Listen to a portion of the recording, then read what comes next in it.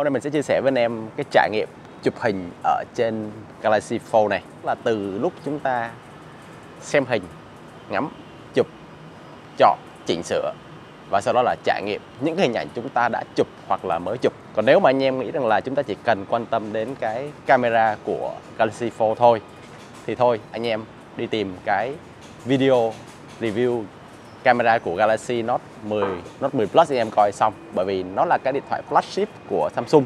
Do đó những cái gì nó có nó sẽ giống như ở trên những điện thoại flagship mới nhất của Samsung bây giờ như là Note 10 S10 gì đó. Từ cách xử lý màu, cách xử lý hình, cấu hình, mấy camera gì đó nó sẽ giống nhau.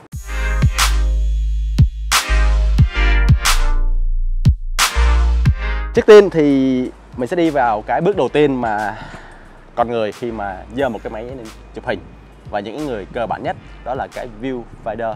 Đối với mình nếu mà dùng nó chụp hình thì chắc chắn mình dùng cái ống ngắm để mình chụp hình. Bởi vì mình đã được à, sinh ra và phát triển với máy chụp hình trong một thời gian dài. Ống ngắm là cái thứ đầu tiên mình chụp và mình không muốn bỏ nó. Và bởi vì khi mình bỏ cái máy ảnh vào trong ống ngắm mình ngắm á, thì mình nhìn được cái hình nó toàn diện hơn mình ít khi xài cái màn hình live view trừ khi trong những cái điều kiện bắt buộc mình mới xài thôi. Chứ mình rất là ít xài bởi vì cái live view đó khi mình ngắm á, với cái màn hình 3 inch hay là hơn 3 inch chút xíu của mấy cái máy ảnh á mình bị ảnh hưởng bởi rất nhiều những thứ xung quanh. Nó làm cho mình không có tập trung được vào cái khung hình. Đó mình tự tin hơn khi mà chụp với lại cái viewfinder. Rồi, vậy thì liên quan gì đến cái Galaxy Fold này? Galaxy Fold này nó có một cái màn hình rất là to. Tức là bây giờ anh em có một cái viewfinder anh em có một cái màn hình live view khổng lồ. Bản thân những cái smartphone á, nó đã có cái màn hình viewfinder to hơn nhiều so với lại cái camera rồi. Tuy nhiên đối với lại cái màn hình của cái Galaxy Fold này thì nó khác hoàn toàn, nó to hơn rất là nhiều. Do đó anh em có thể dễ dàng nhìn được anh em muốn chụp cái gì. Có một cái uh, như vậy mình muốn chia sẻ với anh em. Đôi khi đôi khi anh em thấy những cái người lớn tuổi họ hay cầm ipad lên họ chụp hình. Như vậy nè ở những cái khu du lịch người ta hay chụp hình. Và mình mình biết, hoặc là trong cái bản thân suy nghĩ của mình kỳ ai mà lấy cái ipad chụp hình vậy? Nó ra cái gì đâu? Nhưng mà thực chất, khi mà chụp cái hình ra thì cái hình người ta nhìn trên cái viewfinder thế nào thì nó ra như vậy. Thì cái viewfinder nó rất là quan trọng bởi vì người ta biết được người ta chụp cái gì. Tương đương, cái này nó gần như là một cái ipad và anh em biết anh em sẽ chụp cái gì một cách rất là rõ ràng, rất là chi tiết. Thì mình nghĩ đó là cái rất là vượt trội của Galaxy Fold so với lại những cái smartphone hoặc là cái màn hình live view của những camera.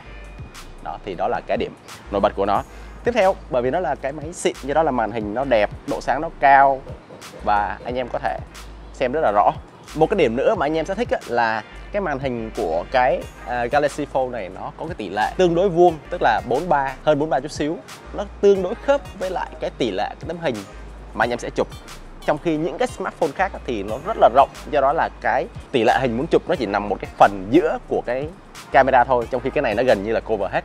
Do đó là chúng ta sẽ tập trung được rất là nhiều và chúng ta hiểu được chúng ta muốn chụp cái gì. Và đối với cái phone này thì anh em vẫn có một cái màn hình ở bên ngoài như vậy. Thì đối với màn hình bên ngoài thì chúng ta vẫn đối xử với nó tương tự như là cái camera của anh em thôi. Anh em muốn biết là trải nghiệm như thế nào thì em cứ lấy cái điện thoại của anh em ra, anh em bật lên em coi thôi, là bình thường. Thì chúng ta vẫn có cái nhấn nút và cái nút nguồn sau đó là chúng ta bấm lên chúng ta dùng nút volume chúng ta chụp. Đó, thì nó sẽ giống giống như điện thoại Samsung. Thì cơ bản cái Galaxy Fold này nó giống như những cái điện thoại Samsung khác. Chúng ta có thể chụp bằng nút mềm trên màn hình. Đó, chúng ta xoay như vậy thì nó hiện mềm ngay tay phải này. Chúng ta xoay dập lại thì cái nút mềm nó sẽ chuyển sang bên tay phải này. Hoặc là anh em cũng có thể dùng cái nút cứng ở trên cái máy, đó là cái nút tăng giảm lượng anh em bấm chụp. Và tất cả những cái thao tác chỉnh chụp, chọn chụp gì đó trên màn hình này thì dĩ nhiên là nó dễ dàng hơn anh em dùng những smartphone khác bởi vì nó to hơn, anh em thấy được hiệu ứng nó rõ ràng hơn, anh em thấy những cái nút nó to hơn, rõ ràng hơn thì nó chỉnh dễ hơn. Cái công tác chụp nó cũng diễn ra dễ dàng hơn. Và đối với con phone này á, chúng ta còn có một công tác chụp là nó nhỏ như vậy nè. Anh em dơ như vậy thì nó gọn gàng hơn và nó chắc chắn hơn. Khi anh em bấm đúp về cái hai em cầm về em chụp, bật thì nó nhanh hơn và nó chắc chắn hơn. Không cần phải cầm một cách rất là rón rén thì đối với ai muốn chụp nhanh thì đây cũng là một cái lợi thế. Và kể cả chụp tự sướng mà cam sau cũng vậy như vậy này đó nó dễ dàng. Thì cái công tác chụp của nó diễn ra cũng tốt. Đó và khi mà anh em mở ra thì anh em cẩn thận hơn thôi bởi vì khi này anh em phải cầm hai tay hoặc là cầm chắc chắn một tay. Đó, đó công tác chụp nó sẽ là như vậy. Không vấn đề gì hết không phức tạp gì hết. Sau khi chụp là gì? Là chọn ảnh. Khi mà thời đại kỹ thuật số từ lúc mà chụp digital cho đến lúc smartphone thì chắc chắn chúng ta luôn luôn chụp nhiều hình hơn trong một khoảng khắc. Và sau đó chúng ta sẽ chọn xem nào cái nào là cái đã nhất. Thì cái công tác mà chọn hình ở trên cái điện thoại Galaxy Fold này, nó gần như là đạt với cái công tác chọn hình ở trên iPad hay là trên máy tính. Nếu mà so với lại smartphone, thì mình nói, muốn nói cái gì? Cái thói quen của mình á, là khi khi mình chụp bằng điện thoại nhiều nhiều á, thì mình đổ vào máy tính, sau đó mình mới ngồi mình lựa bởi vì là với cái màn hình máy tính to mình mới biết là mình đã xóa cái tấm hình mình không thích, mình không xóa lộ. Còn bằng coi điện thoại mình phải rất là rảnh mình ngồi mình soi chi tiết từng tí một, rất là khó cho mình. Do đó là khi mà chuyển sang Galaxy Fold này, thì công tác mà chọn hình sau khi chụp của mình nó dễ dàng hơn. Bởi vì mình nhìn được một cái hình nó tổng quát hơn và nó chi tiết hơn. Do đó là công tác chọn hình của Galaxy Fold nó hơn rất là nhiều so với lại những cái smartphone khác dĩ nhiên, nếu như em xài cái màn hình bên ngoài này thì nó không hơn, thậm chí nó bèo hơn bởi vì màn hình bên ngoài nó nhỏ hơn. Tuy nhiên nếu mà chúng ta có một cái màn hình to vậy thì tại sao chúng ta không mở ra và chúng ta chọn cái hình chúng ta muốn nó đã hơn rất là nhiều? Vậy là công tác chọn hình nó cũng diễn ra sướng hơn. Sau đó là công tác chỉnh hình. Anh em chụp hình bằng điện thoại, anh em nên chỉnh chút xíu. Anh em chụp bằng máy ảnh, anh em cũng nên chỉnh chút xíu. Anh em chỉnh hình không có gì tội lỗi, không có gì sai trái cả.